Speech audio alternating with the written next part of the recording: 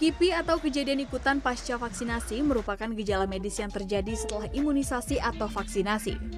Umumnya gejalanya bersifat sementara dan ringan, seperti pusing, mual, pegal, dan demam.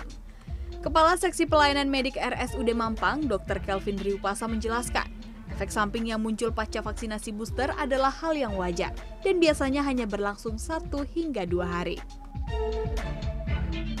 Selain itu, Kelvin juga menyarankan lebih baik mengambil jenis booster yang variasinya berbeda dari vaksin sebelumnya.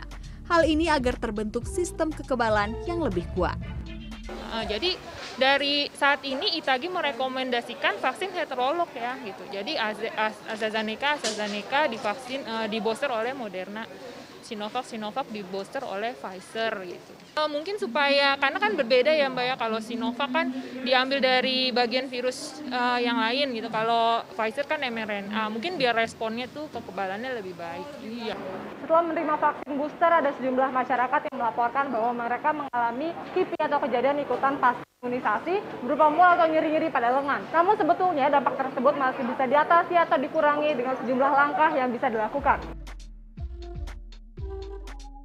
Untuk mengurangi KIPI, menjaga kondisi sebelum dan sesudah vaksinasi booster penting untuk dilakukan. Sebelumnya, pastikan tubuh dalam kondisi yang benar-benar sehat.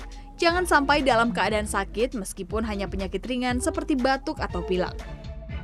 Istirahat yang cukup dan makan terlebih dahulu. Kemudian saat proses screening atau pemeriksaan, harus jujur terkait riwayat penyakit dan kondisi tubuh kepada petugas nakes. Setelah vaksinasi booster, dianjurkan untuk istirahat yang cukup agar vaksin bekerja secara maksimal. Siapkan waktu untuk pulang cepat atau istirahat dari kerja, terutama shift malam. Hindari begadang setidaknya selama satu malam. Hindari juga kegiatan berat, terutama untuk lansia seperti olahraga yang terlalu keras dan angkat beban. Jika terasa gejala seperti demam dan pegal, dapat diringankan dengan minum paracetamol. Salah satu penerima vaksinasi booster, Sulistio mengaku hingga kini belum merasakan gejala efek samping sejak vaksinasi dosis pertama. Secara diri sendiri, kalau kita uh, pagi hari paling tidak kita sarapan terlebih dahulu, pastikan diri kita sehat, kemudian pikirkan uh, bahwa kita harus semangat bahwa vaksinasi ini untuk uh, melindungi diri kita sendiri dan lingkungan seperti itu. Ia tidak merasa khawatir terkait efek samping vaksin booster.